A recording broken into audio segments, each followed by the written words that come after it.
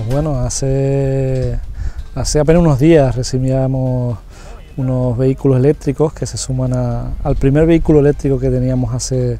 ya un año a la flota municipal. Actualmente la Victoria de Centejo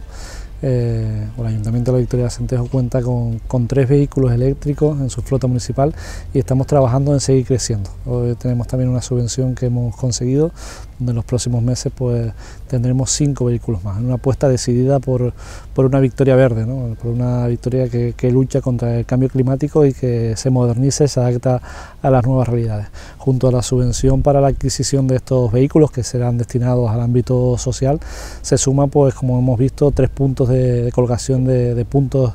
eléctricos eh, para vehículos eléctricos en carretera general, en, la calle Pérez Díaz y también eh, junto, en la calle Ñate junto al, al terreno de lucha. Por tanto, son pequeñas acciones que, mejoran el mundo, mejoran en el medio ambiente y ahí la Victoria de Centejo siempre va a estar, siempre va a estar presente y siempre vamos a apostar decididamente por esta realidad.